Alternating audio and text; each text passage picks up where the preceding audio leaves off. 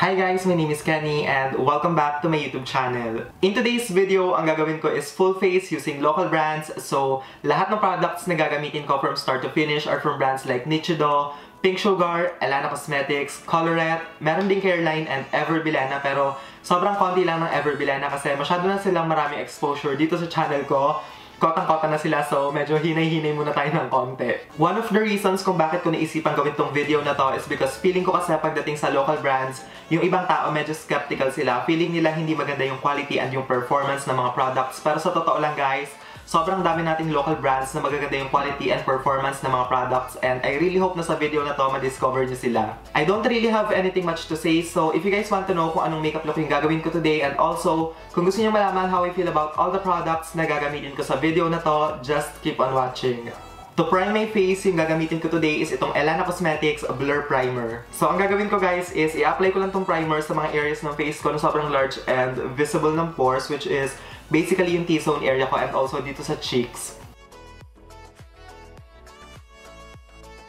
Sobrang gusto ko tong primer na to kasi effective talaga siya when it comes to blurring the pores and also nakaka-control din ng oil. So, kung ang problema nyo sa face is yung visible pores and oily kayo, isa to sa mga primers na maire-recommend ko. Another thing na gusto ko dito is that mineral makeup siya. So, if you have sensitive skin, tapos naghahanap kayo ng makeup brand na sobrang perfect para sa inyo, isa sa mga brands na maire-recommend ko is itong Elana Cosmetics. For my foundation, yung gagamitin ko today is yung isa sa mga favorite kong affordable foundations which is yung Sansan High Definition Foundation and yung shade na gamit ko is yung beige.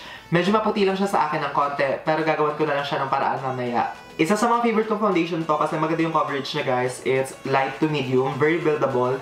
Yun nga lang, pagdating sa shade range, sobrang limited lang din ang color selection kaya medyo mahirap pumili ng shade na magmamatch sa inyo. Pero kung may makukuha ko yung shade na perfect para sa inyo, I suggest na bilhin nyo kasi super affordable and maganda yung quality niya.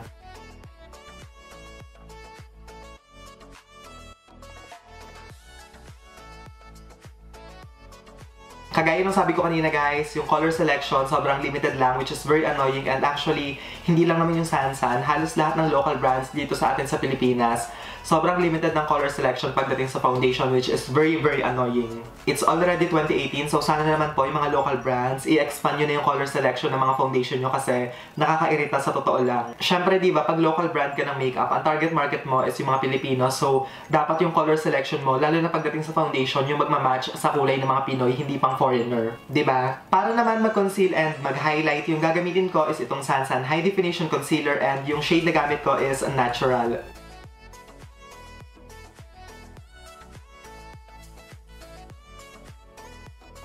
Kung naghahanap kayo ng concealer na affordable and full coverage, isa tong Sansan High Definition Concealer sa mga maire-recommend ko kasi maganda talaga yung coverage niya guys. Yun nga lang medyo heavy siya so kung ayaw niyo yung feeling ng heavy concealer, baka hindi niyo to magustuhan.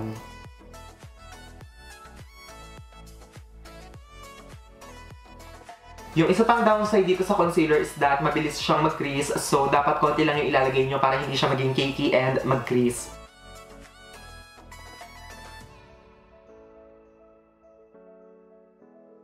Fairness sa coverage, di ba, super plakado. Para hindi mag-move yung foundation and concealer na nilagay ko, syempre kailangan ko siyang iset ng powder and yung gagamitin ko today is wala nang iba kung hindi yung Nichido Final Powder in the shade Creamy Glow.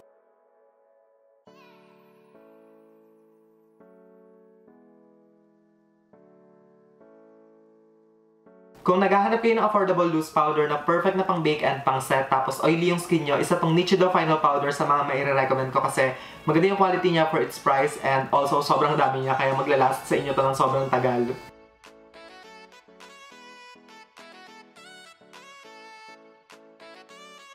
To warm up my complexion para hindi mukhang maputla yung face ko, ang gagawin ko is magbo-bronzer lang ako and yung gagamitin ko today is itong Nichido Contour Palette and yung shade na i-apply ko is yung shade na nasa gitna.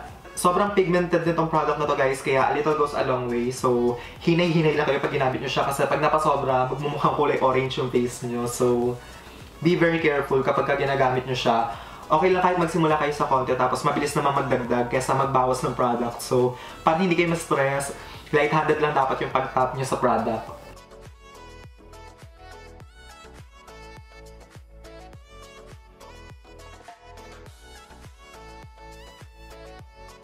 Para naman mag-contour ng nose and cheeks, yung gagamitin ko is yung same palette lang, pero yung darkest color naman yung i-apply ko.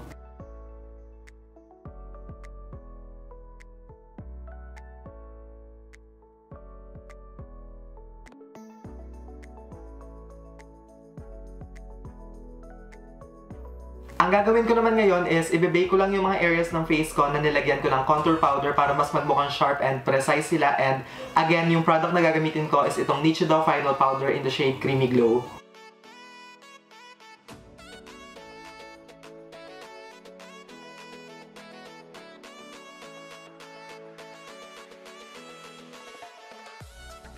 Kanina pa ako nang gigigil na gawin yung kilay ko, so tapusin na natin siya. And yung product na gagamitin ko para gawin siya is itong Nichido Brow Pencil in the shade Dark Brown. Nabura na yung pangalan niya guys, so ilalagay ko na lang sa description box kung ano man yung tawag dito sa product na to. Also, ipa-fast forward ko na lang dito sa part na to kasi alam nyo naman guys, I hate doing my kilay.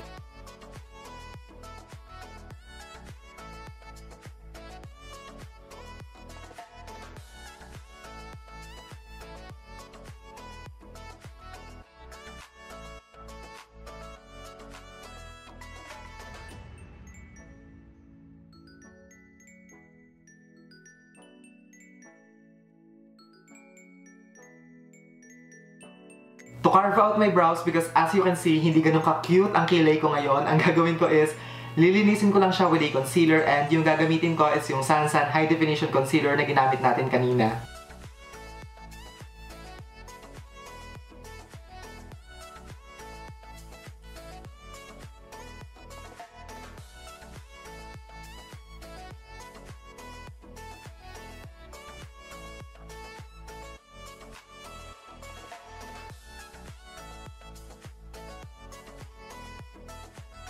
Actually, bago ko gawin tong video na to, hindi ko alam kung anong eye makeup yung gagawin ko. So, para mas madali and mabilis gayahin, basic smoky eye na lang na medyo dramatic yung gagawin ko. And yung eyeshadow palette na gagamitin natin today is itong EB Advance Uncover 2 palette. For my transition color, yung gagamitin ko is yung orange color dito sa eyeshadow palette. And what I'm gonna do is, i-apply ko lang siya all over my crease. Tapos, i-build up ko lang yung kulay hanggang sa ma-achieve ko yung gusto kong intensity.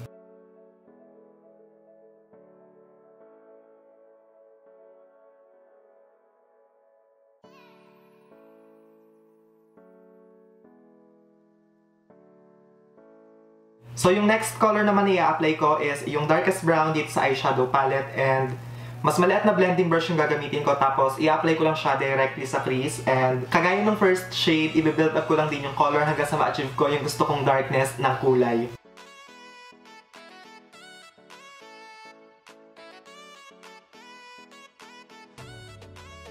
Kung matagal na kayong nanonood ng videos ko, I'm very sure alam nyo na how I feel about this palette. I like this one. So, kung bago kayo sa channel ko, I like this palette, guys.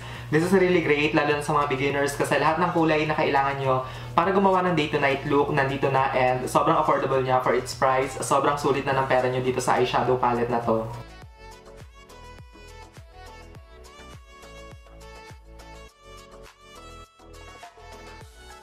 For my lid color, yung gagamitin ko is itong Elana Cosmetics Loose Pigment in the shade Halo. And super nice nito kasi parang iridescent siya. Kulay white siya pag tinignan nyo pero may parang shift ng pink and green yung kulay. And para i-apply itong loose pigment, ang gagawin ko is gagamit lang ako ng flat shader brush na binasa ko ng konti para sigurado talaga na mas intense and kumapit sa lid yung loose pigment na gagamitin natin.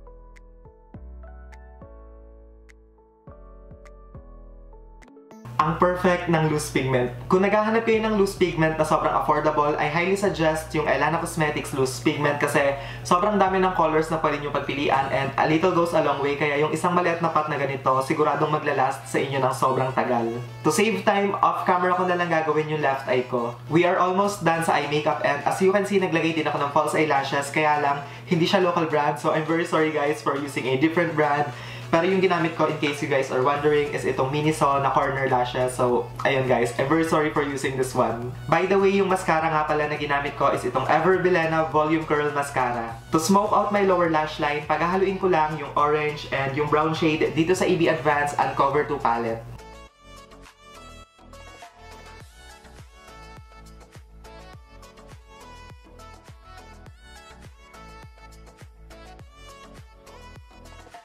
For my waterline, ang gagamitin ko is itong Nichido Eye Contour Pencil in the shade black.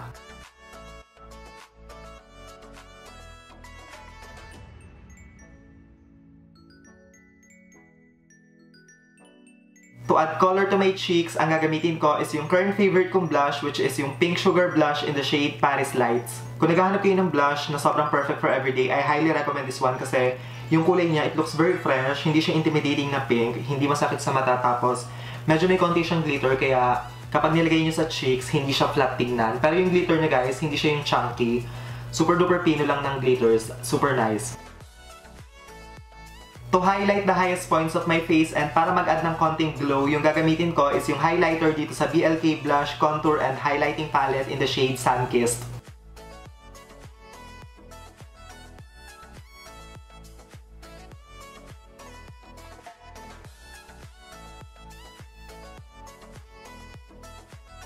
For my lips, yung gagamitin ko is itong Colorette Cosmetics Super Matte in the shade Tahoe and isa to sa mga favorite kong brands ng liquid lipstick kasi sobrang ganda ng pigmentation tapos komportable siya sa lips.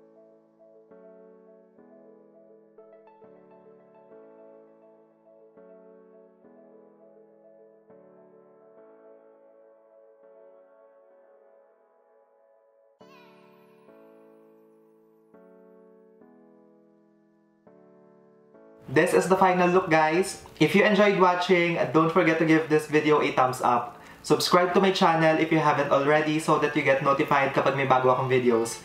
Thank you guys so much for watching and I will see you all on my next one. Bye guys!